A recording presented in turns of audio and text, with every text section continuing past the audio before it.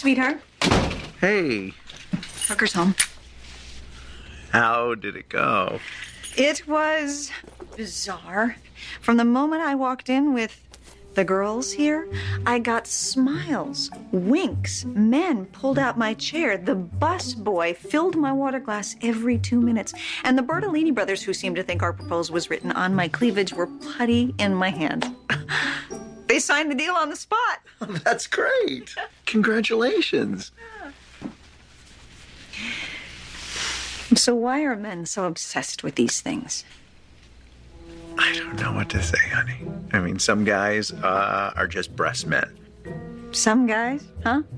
Me, I appreciate all aspects of the female. Come up here, Tom. Come on.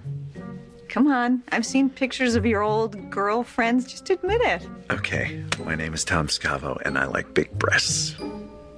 But you married me. Man, I stepped right into that one, didn't I? So let me ask you you ever feel like you compromised? Yeah. Okay, I'm giving you one chance to start over.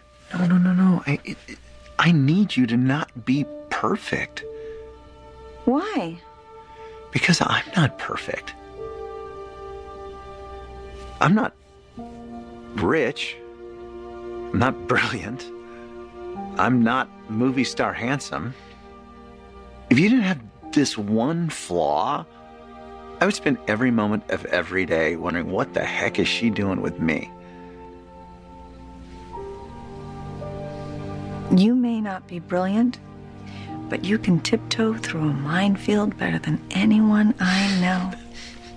Well done.